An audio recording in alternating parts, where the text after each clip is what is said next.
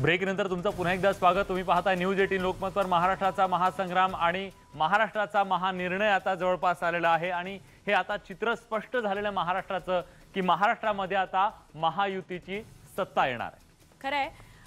काँग्रेसच्या ज्या पद्धतीने कल राहिला किंवा आता जे निकाल काँग्रेसचे आलेले आहेत तर काँग्रेसच्या या यशापयशासंदर्भात प्रिया दत्त यांनी संवाद साधलाय. त्यांनी प्रतिक्रिया दिलेली आहे. आमच्या प्रतिनिधी स्वाती लोखंड ढोके यांनी प्रिया दत्त यांच्याशी संवाद साधला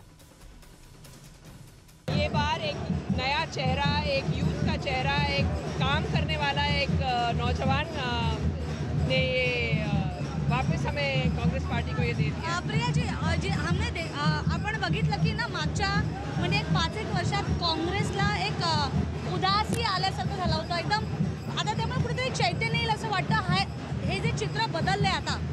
मैं समझती हूँ उदासी नहीं थी लेकिन हमें बहुत अंदर से हमें अपने आप को रेक्टिफाई करना था। हमारे हम हमें देखना था कि हमारी कमियाँ कहाँ हैं। हाँ।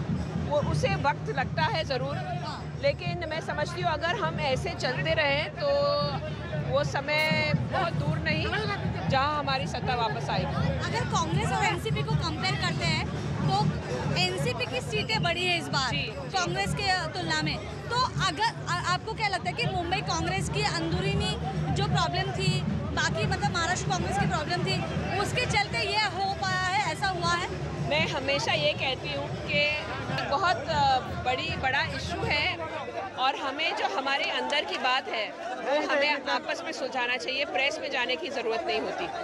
और हर पार्टी में ये इश्यूज़ होते हैं, हर पार्टी में ये इश्यूज़ होते हैं, लेकिन हमें किस तरह से डील करना चाहिए, वो बहुत ज़रूरी है। मैं तो ये भी कहती हूँ कि जिन बहुत लोगों ने ये पार्टी छोड़ के चले गई, वो हमारे लिए अच्छा है। जिनको जाना है, जाए।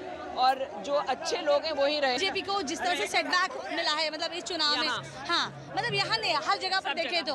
तो दरअसल इसकी वजह आपको क्या लगती है? वजह हाँ। बहुत क्लियर है। आई थिंक पाँच सालों में इन लोग ने इतने वायदे किए हैं लोगों से। बहुत सारी चीज़ें कही हैं बहुत सपने दिखाए हैं लेकिन लोगों को अब पता चल गया है कि कुछ जो वो कह रहे हैं हो रहा नहीं है। हाँ। अच्छे दिन कर करके कर करके इतने बुरे दिन ले आए हैं लोगों के ज़िंदगियों में कि ये बहुत अभी अपारेंट हो गया है। और मैं एंड आई थिंक कहीं ना कहीं लोग इसका जवाब देंगे। स्वाती लोखंडे डोके न्यूज एटीन लोकमत मुंबई। सुवर्ण खरं तर प्रत्येक निवडणुकीमध्ये भाजपकडून काँग्रेस मुक्त महाराष्ट्राचा नारा दिला जातो पण काँग्रेस मुक्त करणं हे सोपं नाही. हे पुन्हा एकदा या निकालातून सुद्धा दिसून आलेलं आहे. आणि जर टॅलीवर नजर टाकली तर अजूनही काँग्रेस एकोणपन्नास जागा पन्नास एकोणपन्नास इतकं अंतर होत आहे पण इतक्या जागा त्यांनी कुठलाही मोठा नेता मैदानात नसताना सुद्धा घेतलेल्या आहेत एक मोठं यश म्हणावं लागेल. एक छोटासा ब्रेक घेऊया लगेच भेटूया. पहा फक्त न्यूज एटीन लोकमत.